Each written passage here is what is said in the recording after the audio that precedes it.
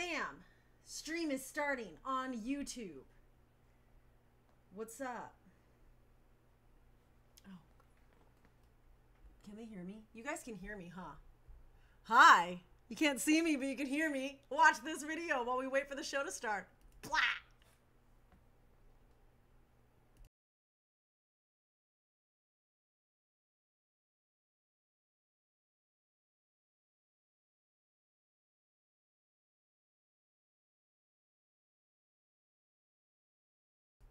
There is no video. Do you know why? Because it's not there. So look at this blank screen and listen to my voice from the ether. Hello. TikTok. They can't see me, but they can hear me. You can see me and hear me. the show will begin soon in like two minutes. Or maybe not. How about we just start this opening now? What's up?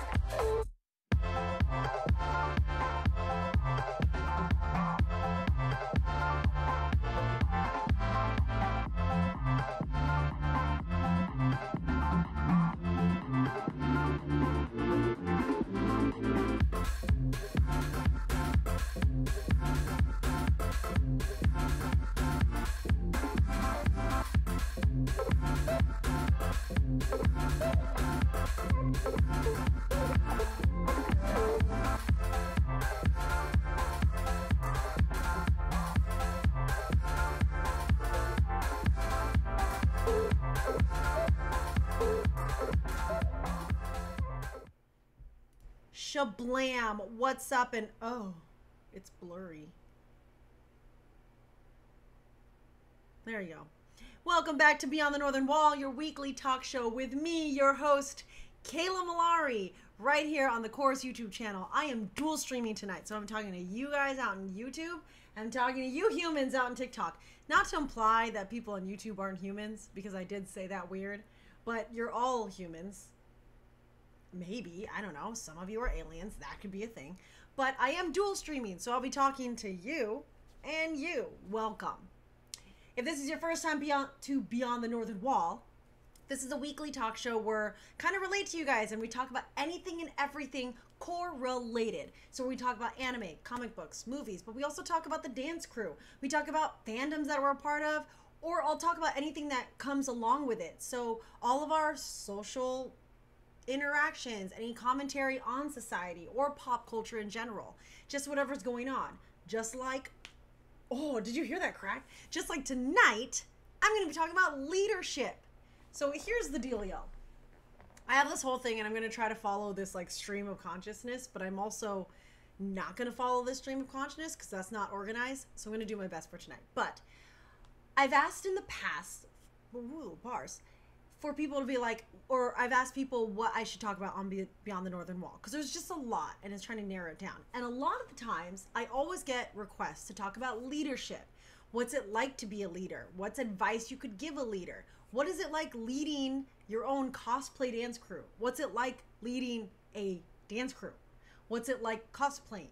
What what are the ins and outs of it? And i always used to be super nervous about giving advice in general like in a large capacity. Hasn't stopped me but i always always get super nervous about it. And i'm always very wary because i don't want my advice to be taken as like the absolute gospel because it definitely is not. It's just from my perspective. So a little disclaimer anything i say tonight is from what i've learned as a human in a leadership position. And I've actually narrowed down how I perceive leadership into five main points that I'll explain later. But uh, before we get into the whole delving into leadership as a whole, let me give you a little bit of background on myself because who the heck am I? You know what I mean? Hi, my name's Kayla. I had more to say after that, and then I blanked. So that was fantastic. Anyways, my name is Kayla Malari. As you know, I play Hanji for our AOT set on the Corps Dance Crew. I also play Todoroki. Can you stand, boy? Okay. Oh, he can stand. Okay, Toto. He's so precarious on this thing. They made his Funko Pop so top, not even top heavy, left heavy. Uh, so he doesn't stand very well. Ugh. And I'm one of the co-founders. I was a co-director for majority of Corps's duration, and I am the current CEO of Corps. Prior to leading the Corps Dance crew, along with Sonali, who's the the other co-founder, and then of course the rest of my board. I have leadership experience from so many other places. So we're to I'm literally going to give you an annotated look at my leadership history. It all started, and I'm not kidding you, in 2nd grade. I was the class representative in 2nd grade in my elementary school. It was like you know how you have like two class reps and that was the student council for my small elementary school. My sister was also in student council so that's how i started. Second grade i was the girl representative for my second grade class. And then in third grade i was also the representative for student council. Side note anecdote second grade or third grade was when my sister and her friends volunteered me for valentine's day to dress up as cupid wear a diaper and deliver candy grams to everyone in the school.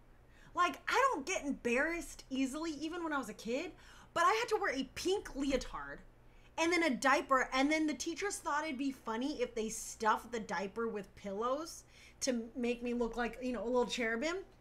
It didn't look, it didn't make me look like a cherubim because they put have, they should have like stuffed my leotard with pillows, but they stuffed my diaper. So it looked like I poo pooed in my diaper and then was delivering candygrams around. But I got like a leadership award for that. So that was the beginning of my great leadership reward career. Anyways, fast forward on as I got into like middle school, I really tried to be take on more leadership roles. So not only did I always want to be a part of like the big decision making, so it was always student council was always a thing growing up. But then I always participated in anytime we had a school wide competition or something that was like uh, I remember in eighth grade eighth grade eighth grade we had we got to participate for the first time in a district wide which was the whole northern california wide science project that had to do with a new release of SimCity and they were only taking two teams from all the elementary schools. And so everyone and the two teams of three. And i remember i was like i need to be a part of that. So that was something that i did that we got to do. So that was me all through like middle school. In high school i did join the student body. I was the pr commissioner for i think my junior and senior year. I think i was pr commissioner for sophomore year. I'm pretty sure i was I also was the choreographer for my theater at for theater at that school, and I participated in a lot of the creation process, mostly my junior and senior year. I did all of the the performance productions. I was part of the prom committee when I was in high school, uh, and I was also part of homecoming committee, and like putting on the big events. So that was like me going into leadership in in high school. In my studio, I was you know once I became a senior in in the dancing, you know, hierarchy, whatever. Uh, I became one of the choreographers by the time I was 18. And then even into college, I was still dancing and I was one of the teachers. I taught at that studio to all the little babies since I was 15. 14 was when I started assisting teaching. 15, 16, 17, 18, up until I was 20, I want to say. I was my own teacher at that studio and I helped with the competition dances. We helped the production side. I helped put on like the last two shows of the studio shows that I was a part of there. And then when I moved down to Southern California, it just moved on from there. I joined a hip hop dance team in the in the collegiate dance scene and then after a year there i became the assistant artistic director for that team I started my own team with Matt Groove, our Erwin Smith, and our friend Paul. We started our own team called Reality Check. Uh, and then, and that's what led into, of course, Corps Dance Crew doing this here. Outside in the professional world, I was not only have I been a performer, but I was also the official last choreographer for Cassandra Peterson better known as Elvira, Mistress of the Dark. Her book's coming out. She's amazing. So I got to be her choreographer at Knott's Berry Farm the very last time she performed live at Knott's Berry Farm for Knott's Scary Farm. And I got to be on that creative side in the meetings and putting together the entire performance from like the ground up. So creation and leadership has always been something. And then of course, Corps dance crew, whatever. So that's like my whole annotated history of being a leader. So when I say, when I talk about being a leader, I'm drawing from these experiences. It's not something that I just took on like five minutes ago. It's something I've done since second grade. So that's where I'm coming from. Hey, yo. So, leadership. I have like five points as a leader that I try to follow that I want to give to you guys and then like give like examples of it. I can't see my thing past my camera. I need to redo my setup because I can't see anything. I can't even see. All right, leadership. Bam. Nope. You don't want to? You, you, don't, you don't even want to? Bam, there you are. Leadership. So these are my five points. I'm going to read it out to you guys here on TikTok. So, number one is you have to earn the right to be leader, and I'll break th- these all down. Two, leadership requires certain sacrifices. Three, it's about support. Four, know everything. And five, knowing everything doesn't mean you're never wrong. So, those are the five points. Let's start with point number one. Welcome to my TED Talk. this is not going to be the smoothest TED Talk you've ever been to, but I will hope that it's probably one of the more entertaining ones. So, the number one thing that I always tried to learn, or what I gleaned as a leader, is you have to earn the right to be a leader. Someone can bestow the title on you. Someone can say, Oh, you applied for the job of director, you're now director. You've applied the job to be the, the choreographer or the head of this project that it, you are now that person. Yes, you can get the title, but you have to earn the right to be a leader. People aren't just going to treat you like a leader if all you did was get the title and that's it. You have to earn it. So you have to work so hard. And that coincides with point two leadership requires certain sacrifices.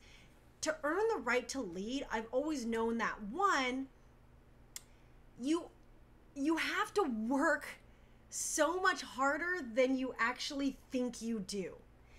And and it's objective because whatever you think, whatever you personally think is the hardest you can work, you have to work harder than that. Two, in this, uh, one thing that I noticed is that a lot of leaders that I that I had to follow, not, not that I'm going to say that I looked up to, but I had to follow, thought that being a leader meant that they could – essentially take it easy or they didn't have the same responsibilities as everyone else because they were in a leadership. No, what I meant by sacrifices is you sacrifice the luxury of like rest. You sacrifice the luxury to say, I don't want to do that anymore. You sacrifice the luxury to rage quit. Rage quitting is for, you know, adolescent boys on Call of Duty. That's for that. You don't get to rage quit when you're a leader because you're earning the right to be a leader. That means even when times get tough, even when everyone else is like I don't have and I like I I can't handle this right now. The leader knows that when you step into that position, you have to sacrifice the luxury of being able to say that. It, it, it just, it is that. And a lot of times that's not to negate you as a human. Yes, you can react to things on a human level. Yes, you can be frustrated. Yes, you can be you might not have all the answers, but you don't get you don't just get to take a back seat because you chose to get in the driver's seat. You chose a leadership role. And you're earning that leadership role, so you have to drive. Even if there's no more road to drive on, you now have to figure it out and drive. And that's what I mean by sacrifices. Because a lot of people think once they like climb to the leadership position, they're like, oh, great, I get to make all the decisions and it's so much easier because it's what I want to do. And then when they're hit with barriers or obstacles, they're like, I'm not supposed to have to deal with that. No, you are. You are the first line of defense, you are the vanguard. I'm sorry, you a boss sits at the back. Like you we this is not imperial Rome, okay? You're not the legatus at the back of the army waiting quietly on your horse while the vanguard goes forward. No, no, no. We're talking like Braveheart. We're talking the old Nordic way of fighting. You are the leader, so you are at the front. You are at the dang front of the battle, and you are charging forward with the rest of your army, with the rest of your military. That's a real leader. A leader does not sit back and watch as things happen. They are in there, getting to know the the work, getting to know the product, getting to know the hardships, the actual nitty gritty that everyone else who's following them has to do.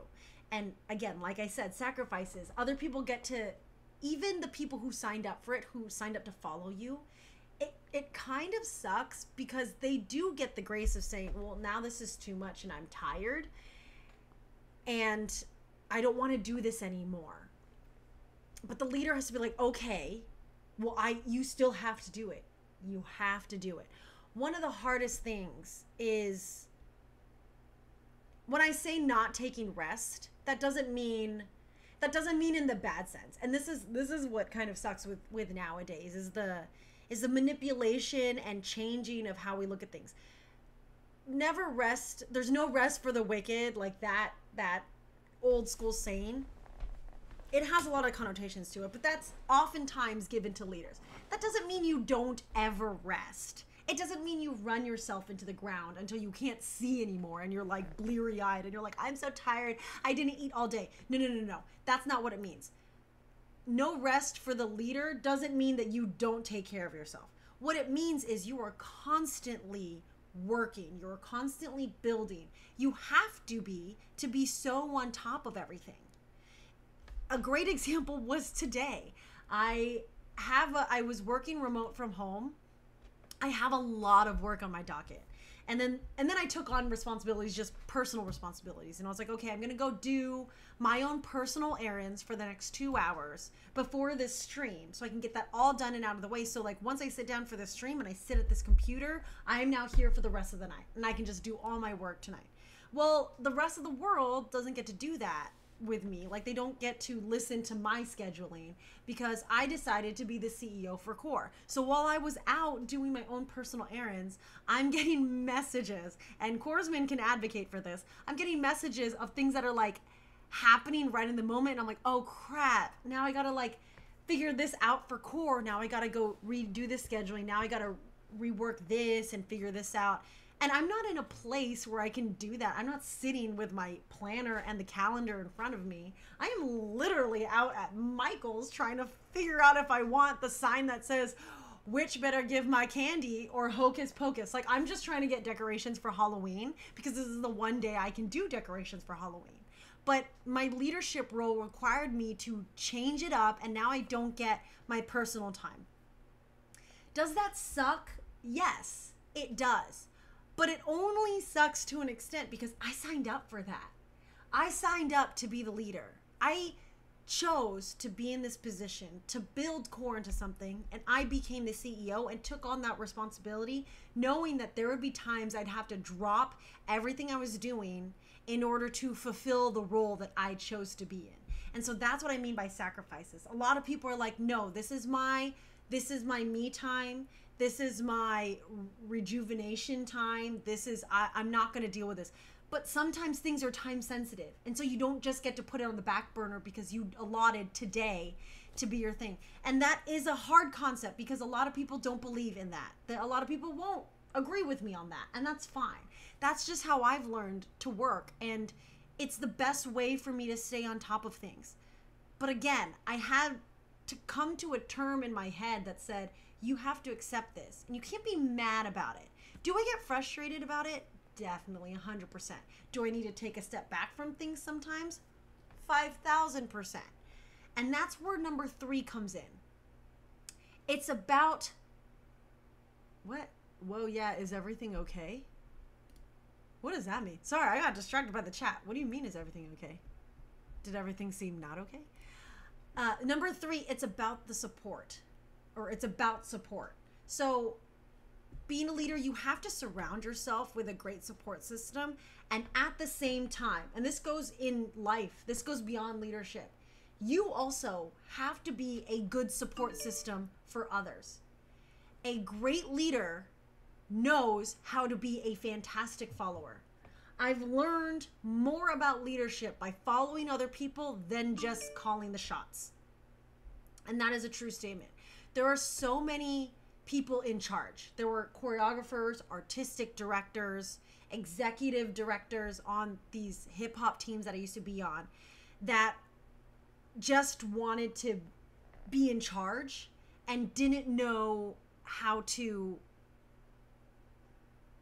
didn't know how to support they didn't know how to follow anyone else. Even if that another person was in charge and they were we were in a different department and they were not in charge they still didn't know how to follow. They didn't know how to support. Because they're like well i'm a leader in this department and you're a leader in that department.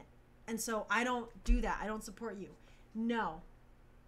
A great good leader knows knows that there are two sides to every coin. You can't just have people support you the whole time. You have to be there for them, especially when you're a leader. Your biggest concern, at least for me, the the CEO of Corps Dance Crew, my biggest concern is my corpsmen. I have to put them at the forefront of almost everything I think about. I do. I I do.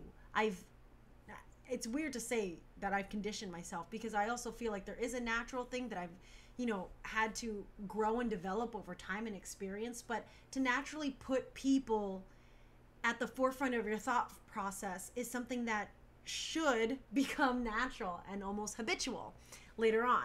So that has to be a thing. I have to think about okay, what's the best way to utilize the time so that you feel productive? Or what can I give you to help you through this? That is a great leader uh, my boss right now at uh, I work at a Barnes and Noble, and my manager there, our store manager, he is amazing at this. He is probably one of the hands down most supportive people. One of my favorite examples is we we were we work in a in a border of a conservative city. Hey. And there's a lot of like liberals and there's a lot of conservatives. There's also a lot of kind of uh, typical, shall I say, close minded people. And a lot of the times we do get people into our store, into our bookstore, that are none too kind. There was one individual, this woman came in and said some horrible things to one of my fellow booksellers because she asked her to put a mask on. She wasn't wearing a mask the county requirements require you to wear a mask indoors. And my coworker asked her to put a mask on. This woman went far beyond. She started insulting my coworker about who she was as a person. Not even was like not even mad about the mask thing, but started like saying the rudest, cruelest, most inappropriate things to my coworker about who she was as a person. And our manager was like, no, she is not allowed in the store. And the woman came back the second day and, and the our manager was like, you are banned from our store. And she was like, well, but your other bookseller said I, I could have one more incident. And he said, no, I'm the manager. You can't treat my employees like that. You're excused from the store. And that was amazing because so many times you'll meet managers that try to put customer service as their excuse for not not fighting back with a customer. They're like, oh, it's customer service, you know, customer loyalty. But he was like, no, politeness doesn't mean you have to subject yourself to bullying and verbal abuse. That's not what that means. I'm your manager. I'm here to support my staff. We are, what I like to say is, especially when it comes to retail or even for restaurants, most especially in restaurants, we are merchants. We are not servants you come into our area, you come into our restaurant, you come into our store. I am now a merchant. You are paying me for my goods and my services. I am not your servant. You don't get to treat me like a lesser human. It is an equal exchange. It is not a hierarchy at this point. And so if you come into a store or restaurant thinking that it's their job to serve you, that's not what it is. You're there for their goods and services, and they're there to give you their goods and services equivalent exchange. Y'all remember Fullmetal Alchemist? That's what it is. And a good leader knows that you shouldn't subject your people to just, you know, be meek and be like, oh, you know, compliant and whatnot. Now, that was something very hard that I had to learn on Corps, especially because as a growing cosplay dance crew, there was no precedence to what we did. There was absolutely no game plan. We were blazing a trail, literally blazing a trail that's never been done before. So many times in the eight years of running Corps, I've run into this exact conversation with people where they said, What you guys do is amazing. What you what you have, this cosplay dance crew thing, phenomenal. I just don't know what to do with it. Like I don't know where to put you. I don't know how to utilize you. And that's a real thing. That was super hard. And so a lot of the times we felt compelled to be as compliant and adaptable as possible. It was a hard thing. It was a hard thing for me to push out of, and it was a hard thing for Corps to build out of, to just say yes to every condition. There, and this wasn't a bad thing. It was more funny than it was anything else because it wasn't intentional on anyone's end. But there was definitely a performance that Corps was at, and it was for uh, a unified school district, so it was for kids, and it was like a festival for the holidays. So we're like, yeah, we're gonna do this just for fun. We'll perform for the kids. Well, the stage uh, wasn't like a secure stage. The stage decided to Pangea underneath us. What do I mean by Pangea? Oh, good gravy goodness. I hope if I say the word Pangea, you guys know what that means. Because I just saw TikTok where someone didn't know uh, between Saturn and Jupiter, they didn't know what the largest planet in our solar system was, and that was upsetting. So I hope you know what Pangea is. Well, Pangea, if you don't know, was when all the continents, way back billions of years ago, was just one giant thing. We call it Pangea. And when we say Pangea, is because, you know, during the tectonic plates, the movements of everything, that's when all the continents broke apart. That is literally what the stage did. As we are dancing on it, it is breaking apart underneath us and I look over and I see Can drifting away on this piece of stage. We're not on water, mind you. This is on cement, but we're dancing so hard and the stage isn't connected to itself that it's just separating from underneath us and we are dying laughing because we're like what do we do technically that's super not safe but especially as a dancer and this is definitely a professional thing like in the industry as a dancer and you know, as a live performer, you know the show must always go on. The show must go on. You hear it all the time. It's almost conditioned like that to the point where a lot of times someone needs to be there to be like, "Hey, stop doing this. It's not safe." The stage thankfully didn't collapse and collapse and no one got hurt. It was just when we got off, we were like, "Oh, that was super like look at the stage. It's now spread out in this area." And we were laughing we we're like, why did we not stop? We just were like, let's figure it out. Let me just hop, skip, and jump over here to my next part of the formation because the piece of stage that I need to be on is over there. And it was one of those things where like, well, but let's just let's you know, let's figure out, let's do it. That is something that slowly over time I've been able to discern as a leader what can we do and what can't we do. And it's not necessarily can't as in we are incapable.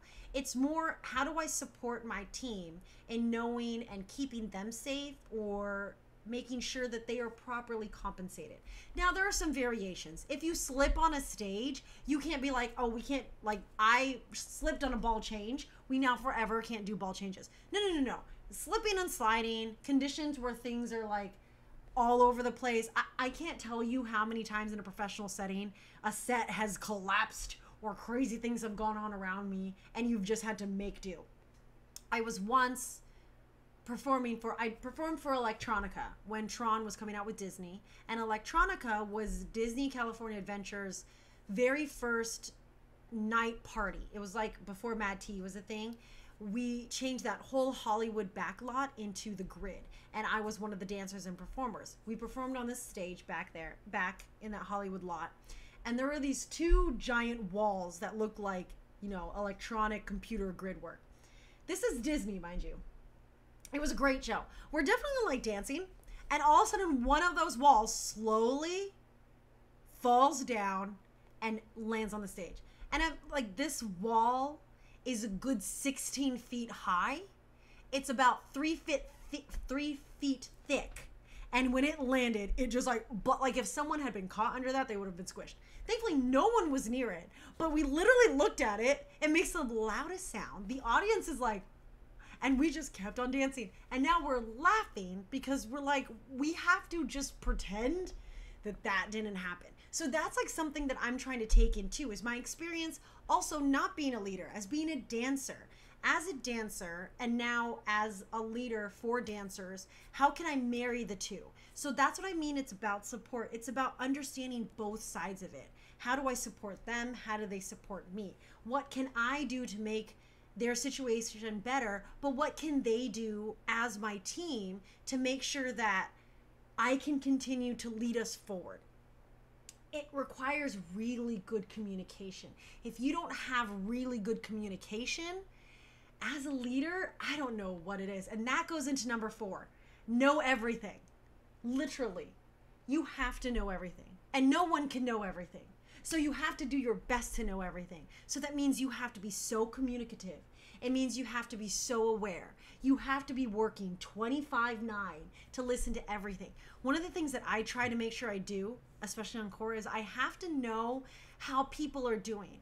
If things are going on in their like without delving inappropriately into someone's personal life, I need to know about their life so that I know, hey, are they having a hard time or I just did it last night Treen Bean walked in, and we all know that she had to go through her thyroid treatment. So I just asked her about that. I asked her about, hey, you know, how's the thyroid treatment going out, going on? And she updated me on that. She's like, of course, one of the most resilient people ever. So it was really nice just hearing her perspective on it.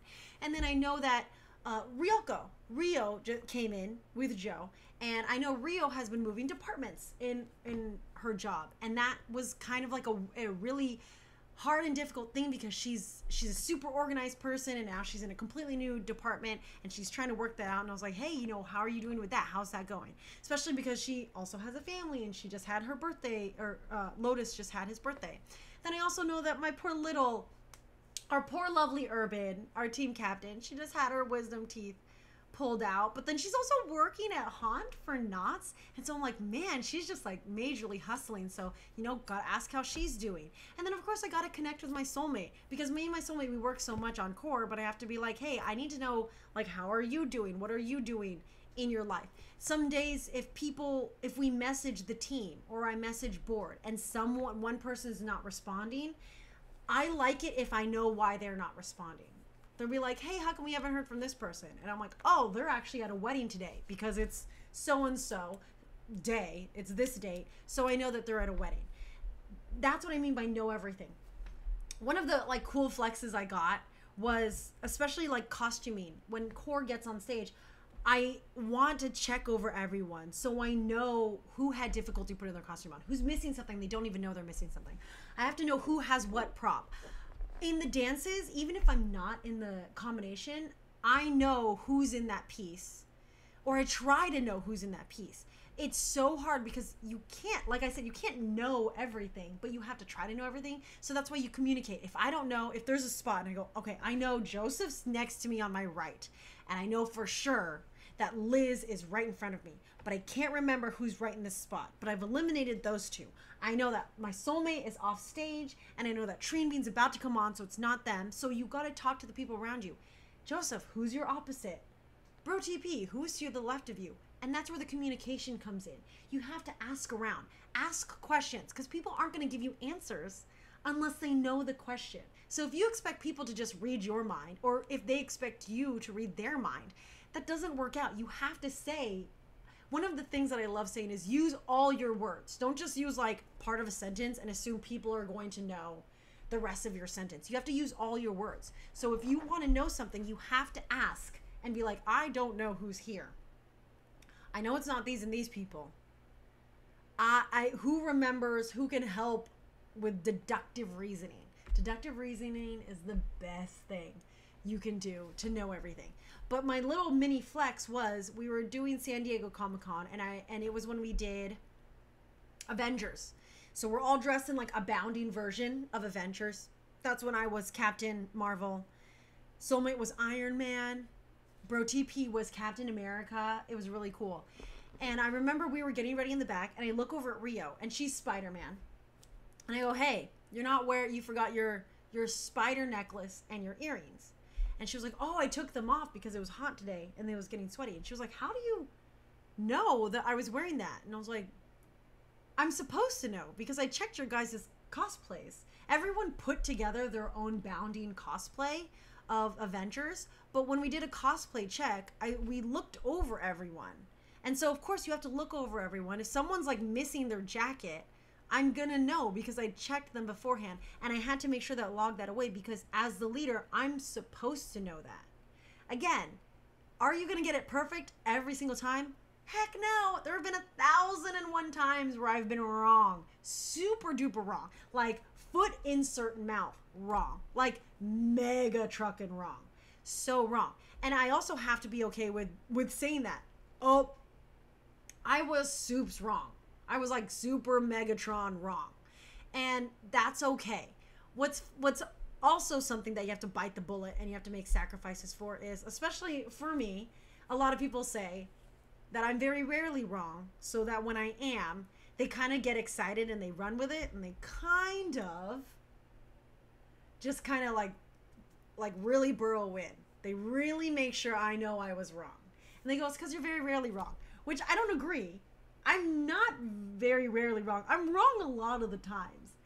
It's just because as a leader, when someone else is right, they do get excited about it. So you kind of have to be okay with that. Like you can't take that personally because they're not doing it to make me feel bad. They're doing it because they're excited. They're excited that they got something right. That they're excited that they knew this. They're excited because they were doing all these things. They were being aware. They were being conscious of each other. They were being supportive.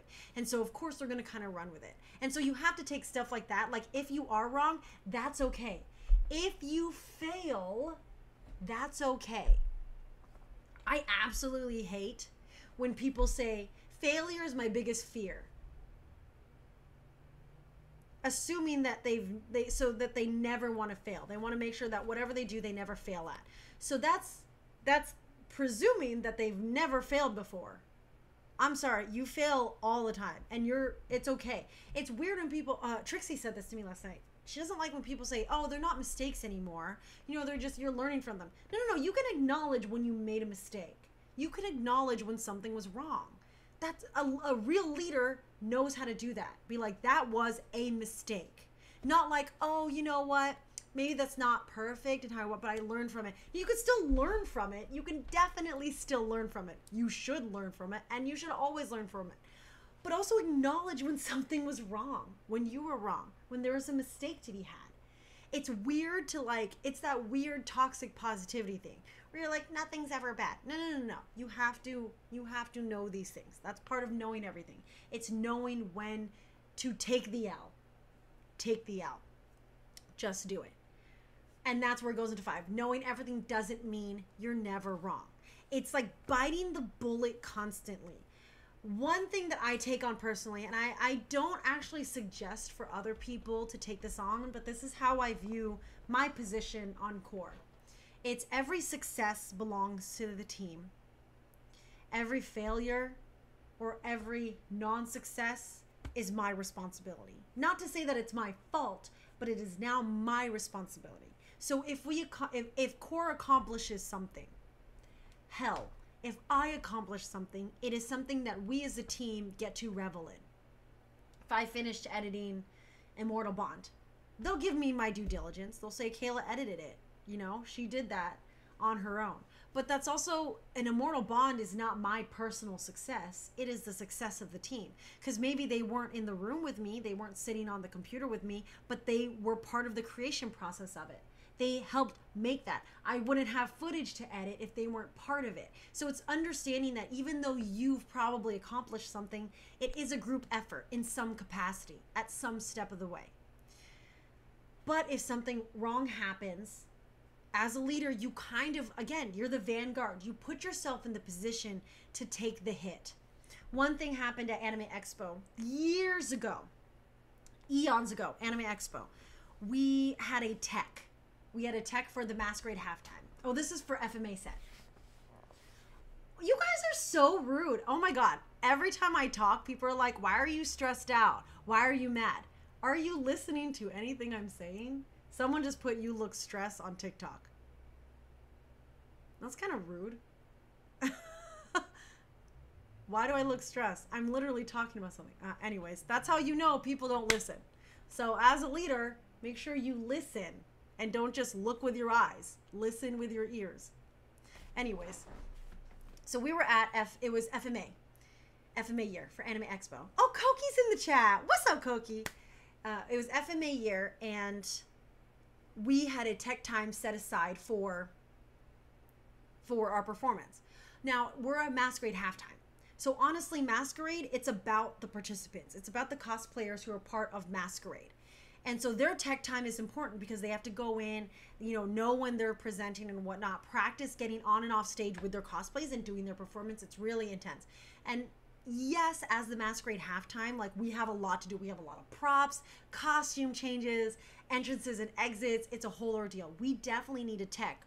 But we also know that masquerade it we're there to celebrate the participants the guests that are participating in the masquerade so we were there for it and there was a miscommunication there was a miscommunication between the entertainment manager in charge the techs who were running the the like the technical assistants who were running techs for the contestants and our runner our den mom say how to say we were there the entire time and we were ready to go but they kept pushing our time back. So we just kind of sat in, we like went into the audience area because it was all empty and we were just stretching and working out. And I had sent our music in like weeks before, weeks and weeks before for the original performance. We actually had been asked to do that masquerade three days before AX started. So that was a last minute change. So I had to make a new mix. I sent it over three days before that masquerade day. Masquerade Day. Sitting there waiting for tech. Entertainment manager comes by and he goes, Where's your music? And I say, Oh, I emailed the music over to the technical department. And he was like, Well, they don't have it. So you're supposed to have a, have a hard copy of it. I was like, Oh, yeah, we have a hard copy of it, but our tech right now is at the same time as the panel. We were supposed to be doing a panel at the same time. So we had split into two different groups. One group went to panel, one group was at tech.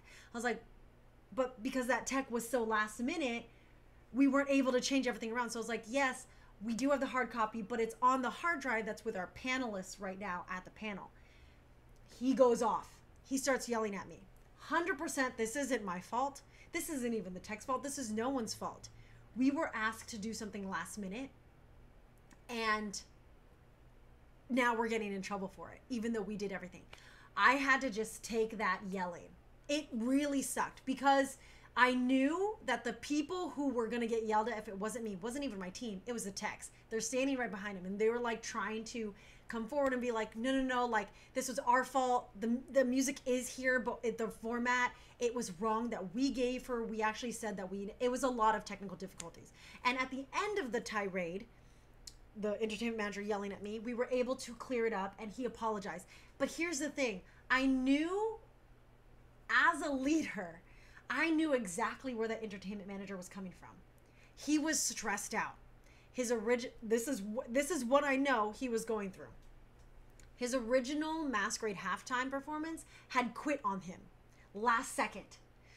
Last second. It was a huge name. A huge name was supposed to perform for Masquerade halftime. Last second, they quit. Oh, Koki's remembering all this. Last second, they quit. Brought us in.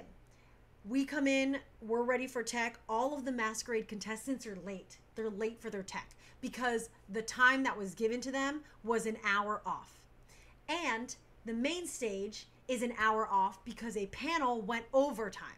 So now everyone's late. Everything is late. We're getting closer. Crunch time is happening. So everything needs to be so streamlined. And he's dealing with all that stress and this was just one more thing. It was honestly the the straw that broke the camel's back.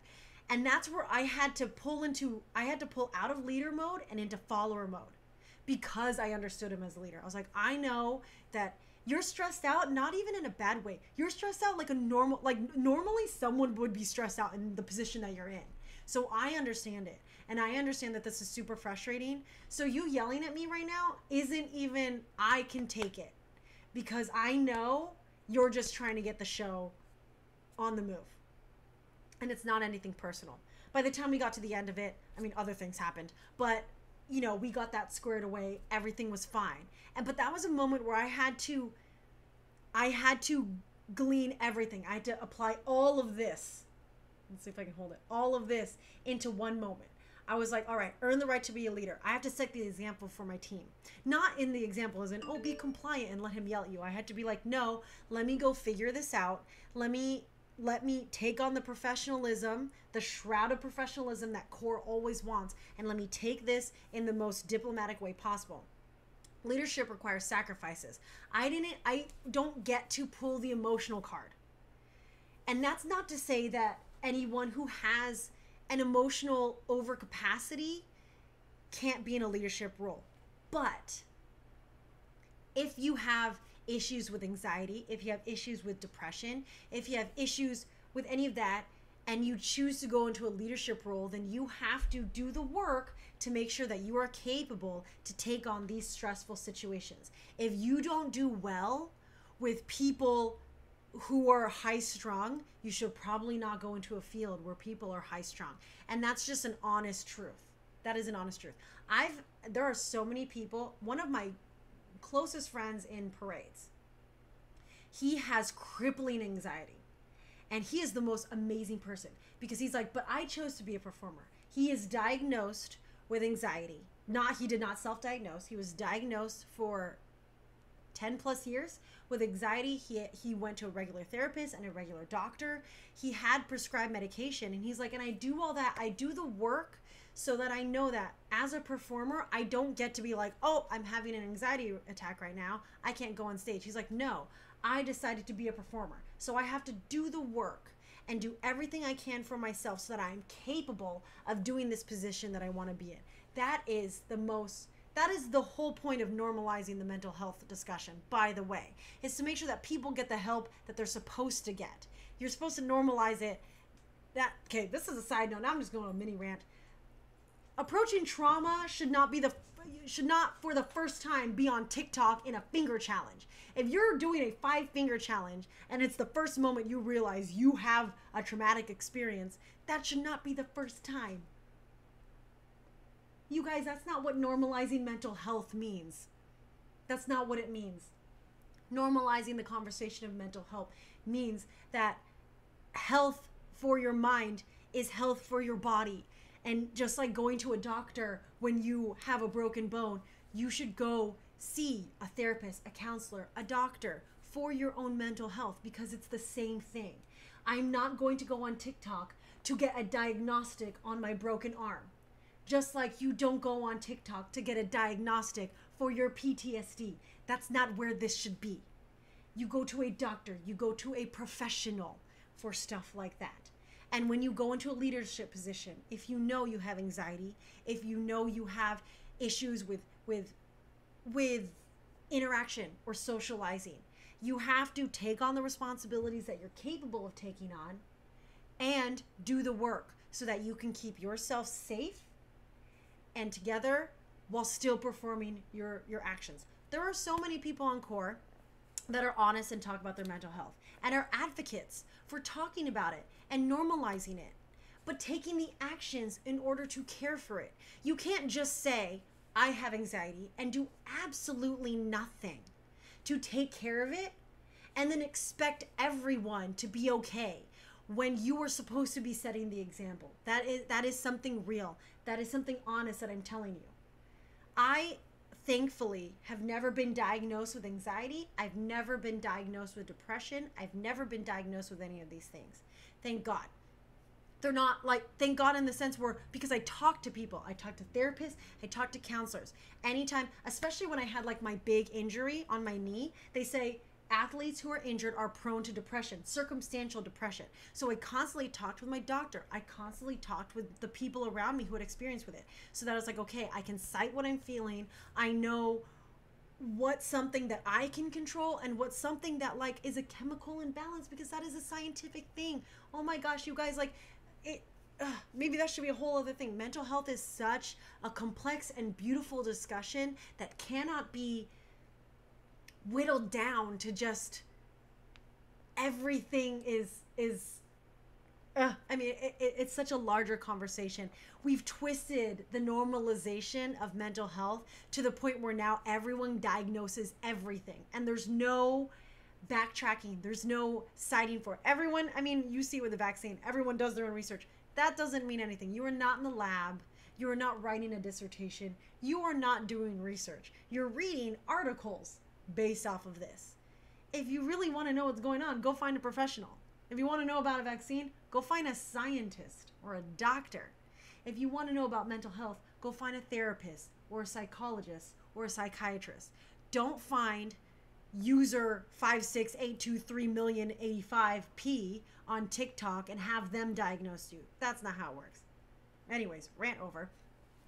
In a leadership position, it is possible to be a leader and have other things going on as long as you do the work and you understand that the position you're going into. That's what I mean about the sacrifices. I get burnout. I get I get uh I think it's I I do have empathy fatigue sometimes where uh, doctors are feeling it right now with covid where you you just can't feel sorry for people anymore it, it's to the point where you're exhausted and being empathetic is something so essential to being a leader. By the way being empathetic and being an empath are not the same things. That's something me and trix always talk about. Everyone's like i'm an empath. And i'm like no you're not because you're reading everyone wrong. Having empathy is different. If you don't know that being an empath and having empathy are two very different things, then you should probably try that science quiz thing on TikTok and see if you know what the largest planet is in the solar system. Because you probably need to double check your work, my friend. But having empathy is something I definitely learned as a leader but there is an extent to it because it is it is being able to discern when empathy should play in, into it and when practicality or pragmatism should play into it. Because you can't this is something that happened with like Gavin Newsom. Oh I almost died. Oh, I dropped my arm on my thing. Gavin Newsom got so many critiques about how he dealt with California in the pandemic. But here's the problem. Yes is he a democratic governor? For sure. Unfortunately, we are not 100% individually democratic here in California. There are some Republicans, there are some libertarians, there's some Green Party. So, unfortunately, he has to consider everyone. And that's the hardest part as a leader, especially when, as an individual, like, and I'm not saying anyone on Corps does this, but this is my example. Someone on Corps will be like, okay, I know my schedule. I know I'm not available on Wednesdays. So I need to tell Kayla I'm not available on Wednesdays. So I go, okay, I hear that. But now I hear, as the leader, I also hear, well, you know, Bartholomew isn't available on Mondays. And Judith is not available on Thursdays.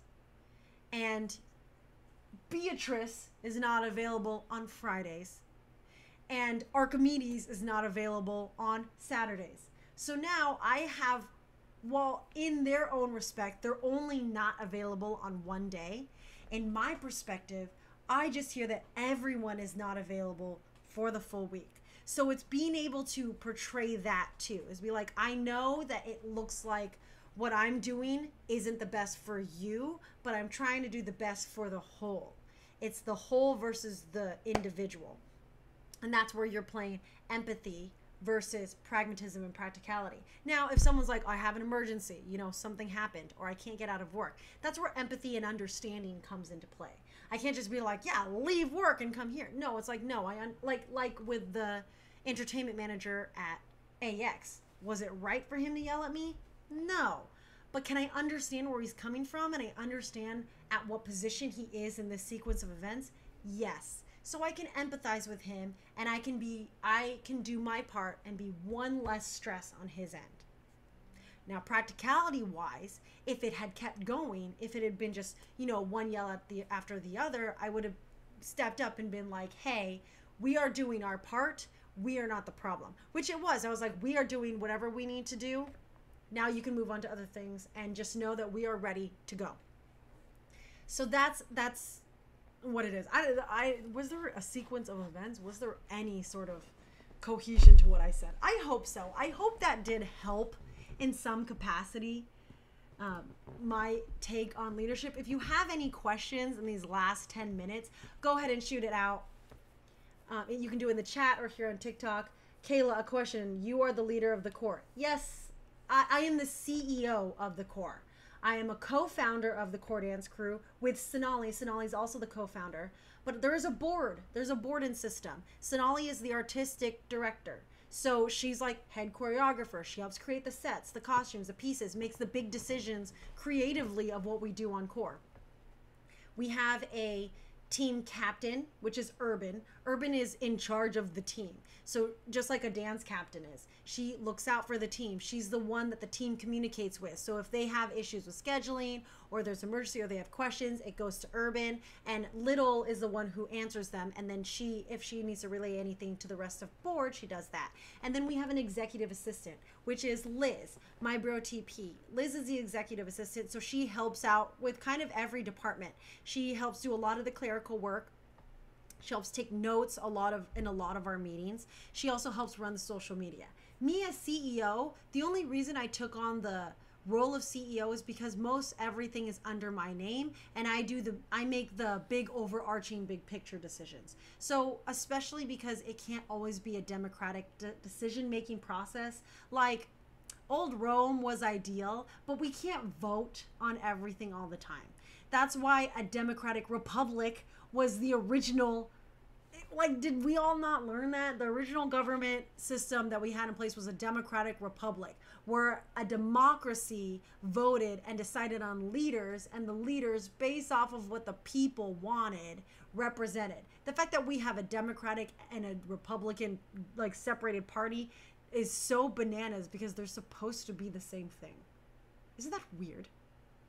Look it up. Look up ancient rome our our our blueprint for everything. And then we botched a simple system. Anyways. Uh, how did you know you were a leader? I didn't. And that's where it kind of gets iffy. I chose leadership roles but i don't get to decide if i am a leader or if i'm a good leader. I just have to do my best and it's whether people follow or people trust me to make the big decisions is how I know if I'm doing a good job. I don't get to say, I'm good at leading. I don't get to say that. I'm just sharing my experiences. It is Corpsman, it is the trust they give me, it is me earning this spot time and time again that determines whether or not I am a leader or even a good leader. So that's how I, I look at it. I don't get to decide that thing. Just like people are like, "Are you good at, at giving advice?" I don't get to decide if I'm good at giving advice. Other people get to decide if I'm good at giving advice. You know. Aw, thank you, Luna Justine. I think you are absolutely doing a good job. Thank you. I try very, very hard, and I learn from a lot of people. Everyone I meet in my life is a lesson in how to be a better person, a better leader, a better choreographer, a better human being, empathetic, understanding, that whole thing. Structured and have the great mentality and mindset. I hope so. I, like I said, worked really hard. How do you deal with that burnout you mentioned? Ooh, burnout is real. I can't say that I deal with it great every single time. Burnout is such a real thing when you're in a position where you're making decisions constantly. There are uh, there are legitimately some days where I yell because I, I I can't understand why it's not ending. And I'm like, "Oh my gosh, I've just been it's just been plowing forward. Why do I feel like I have no help right now? Why do I feel like I'm just alone on this desert island?" And that that's the burnout talking.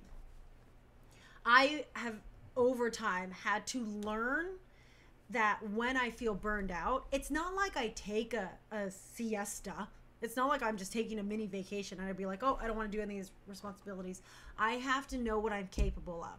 So I have to make sure that in a day, I get the things done that make me happy.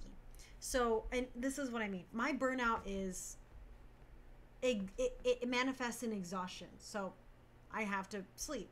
or it manifests in loneliness. A lot of times, my burnout manifests in loneliness, where I feel just really alone.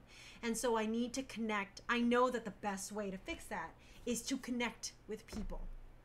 First and foremost, I go find Roston. He's my number one connect physically. I have to go find him and I just like hold him and grab him. And that's how I center myself. Or I'll call up my sister. That's a big thing. I'll call up my sister, Tiffany, and connect there or soulmate my soulmate we we have soulmate dates we try to find times it's few and far between but we try to find times where we don't work on Corps because it's very natural for us to work on Corps. We try to find soulmate time where it's just us being soulmates because that burnout can be real. It's because i chose to intertwine Corps so intimately with my intimately with my life that the fibers are so like pulling my life away from Corps is doing this.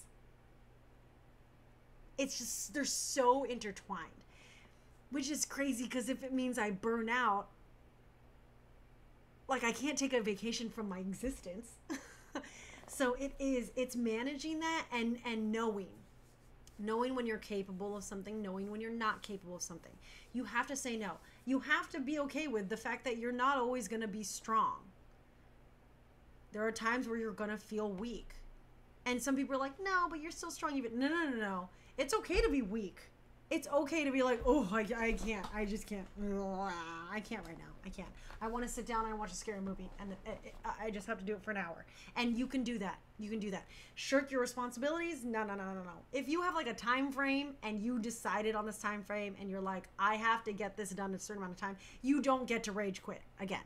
So you have to be able to balance that scale. Um, but that's a really hard question. That's something I'm still learning, definitely. River Rose. Thank you for that question. If you have any other questions about leadership, shoot them out right now. I'll answer them as I do these announcements. So, of course, for Corps, we've had some amazing collaborations come up. One of our big ones right now is Kaiben Zero. Look up here. Go follow Kaiben Zero. They made these. Look at this. This awesome. I can't pull it forward. This Chainsaw Man hoodie. This, I got this from Kaiben Zero. Look at this. This is all they designed it. They screen printed it. It is clean. Look at that drip, minimalism drip. On the back, if you guys like Chainsaw Man, they also have a Shigaraki line that's dropping on the 24th. Wait, that's like soon. This is this this this, this week. It's dropping this week. It also like super detailed. So follow Kaiben Zero on Instagram and you can order straight from their shop. We also have a great collaboration with our lovely, lovely Fandomaniax. Yo, let me see. Let me show you this. This Attack on Titan jacket. I have my Tanjiro one is in the car because I wear it all the time. Do you see this? Season four, Attack on Titan. What's up? Fandomaniax, y'all. Their their cosplay bomber jackets are amazing. So cool. Use our promo code CORPS10 C O R P S one zero to get 10% off of your purchase. But honestly, like peruse their site. They have Christmas sweaters coming out. Yo, they have a Sailor Moon Christmas sweater.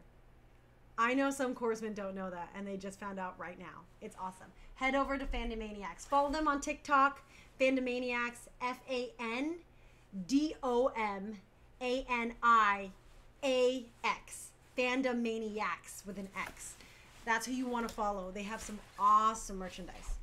Um, and let me see questions. Aw, thank you, Beliana Toro. You are an inspiration. Thanks for sharing your experiences. I think you're such a good leader. Thank you. If you're not just brought a Genshin cosplay, you would be buying so much right now. oh, if you had not just bought a Genshin. Yo, but those Genshin cosplays, those designs are really nice. Anyways, I'm to have that over there for now. So those are our two collaborations that are going on. If you'd like to support Corps on a more regular basis, you can always become a patron. Our Patreon is under the Corps Dance Crew. You can access our secret Facebook group for as little as $2 a month. Uh, $5 a month, you get a 15% discount on our Corps merch. We're coming out with some cool new merchandise for the holidays um, and just in general. And when you get to to $10 a month, you get a free gift with every Pop Shop live order. And you also get your name and business and logo on our affiliate officials club page. So there's a lot of cool things you can get with Patreon. I think our exclusive for this month is a live chat, exclusive only to patrons. So they'll be going live. You get a special private Zoom link. You get to chat with us.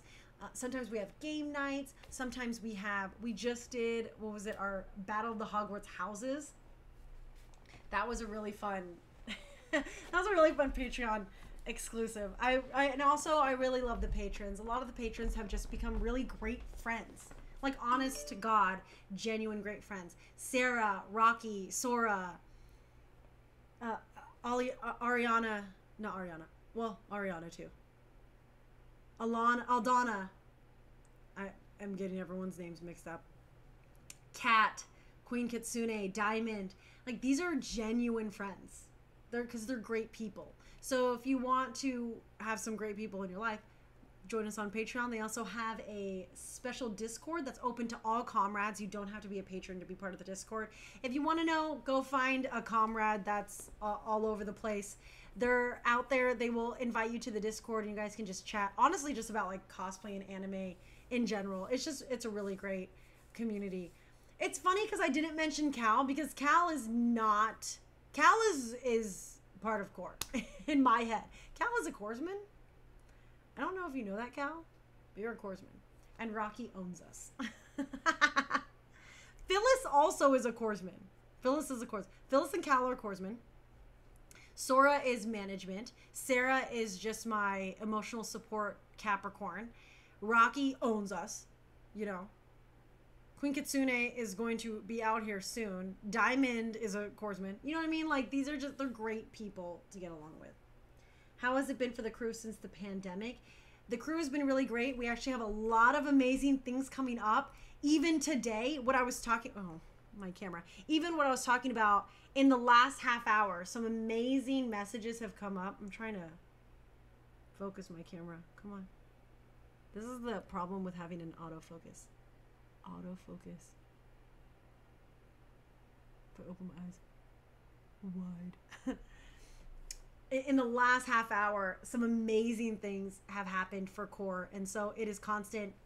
We have a lot of great things coming up. I'm super excited. And if you want to see what's coming up, you can check out our website, thecorpsdancecrew.com, or more importantly, follow us on Instagram, the Corps Dance Crew on Instagram. We do a lot of TikToks, but all of our upcoming performances or any projects we're doing is right there. It goes right on our Instagram first and foremost. So follow us on Instagram for all your up to date knowledge. Any last questions? Emotional support, Capricorn. Really is great. All right, how do you stay motivated to keep dancing? I stopped ever since I graduated and wish to get back in. That is honestly something you have to find with yourself. You can get inspired by a lot of things to get that motivation back. It just takes the right the right concoction of of performances or music. It can honestly be anything. But go seek it out. Go look for go look for inspiration. Go on YouTube. So many dancers have created so much content. TikTok is amazing. People dance on TikTok all the stinking time, and I'm inspired just scrolling. I'm like scrolling for hours, and I'm like, my god, that was so good. Or like, I just found a guy who did like a bunch of celebrity impersonations, and it just reminded me how much I love acting. And I was like, oh my gosh, you've inspired me because you're so talented. Honestly, humans are a great motivator. Other humans and their talent are a fantastic motivation. So, so that's it for actually Beyond the Northern Wall. I'm a little late to our next meeting. We're having a soy sex meeting right now. Thank you all for tuning in. This has been fantastic. If you have any comments or questions about leadership, go ahead and throw it down in the comments once this live gets posted onto our YouTube channel. And I will see you all next week. Same time, same place. Right here on Corps's YouTube channel for Beyond the Northern Wall. Let's call it out. Sotomato on three. One, two, three. Sotomato. Thank you all for tuning in. Thank you, Bro TP and Koki, for tuning in. I'll see y'all later. Peace out, A Town.